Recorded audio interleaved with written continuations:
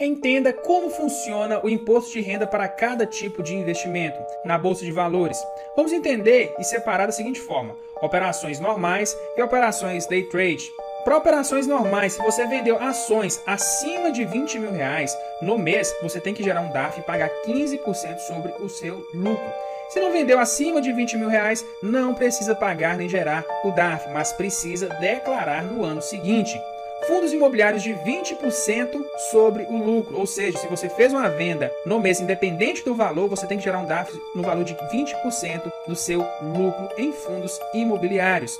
ETFs, você vai pagar 15% de imposto de renda sobre o seu lucro. Então, se você vendeu qualquer ETF e obteve lucro da compra com relação à venda, por exemplo, você comprou por 10 e vendeu por 11, você tem que gerar um DAF no valor de 15% sobre o lucro. Já operações day trade, as ações, ETF, fundos imobiliários funcionam da seguinte forma: 20% sobre o seu lucro de imposto de renda. Então você tem que gerar um DAF para qualquer uma dessas operações day trade de ações, ETF, fundos imobiliários. Beleza? Lembre-se, o pagamento deve ser feito até o último dia do mês seguinte e sempre você vai declarar no ano seguinte. Beleza? Se você gostou, aproveita, deixa seu like, segue a gente para mais dicas.